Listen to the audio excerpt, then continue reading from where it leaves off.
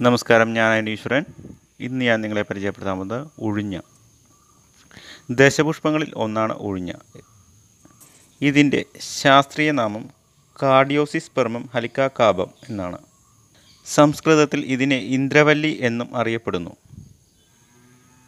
ഓരോ ദശപുഷ്പങ്ങൾക്കും അതിന്റേതായ ദേവതകളും ഫലപ്രാപ്തിയുമുണ്ട്.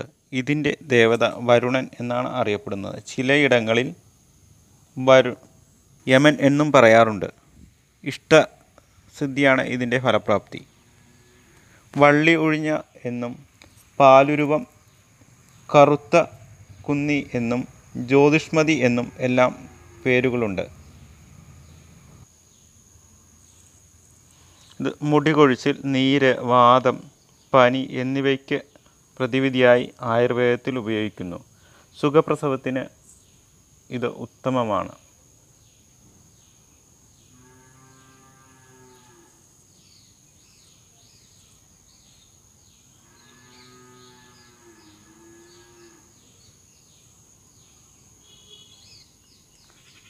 വീഡിയോ ഇഷ്ടപ്പെട്ടെങ്കിൽ ലൈക്ക് ചെയ്യുക കമന്റ് ചെയ്യുക ഷെയർ ചെയ്യുക.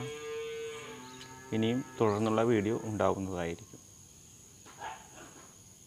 ചാനൽ സബ്സ്ക്രൈബ് ചെയ്യാൻ മറക്കരുത്.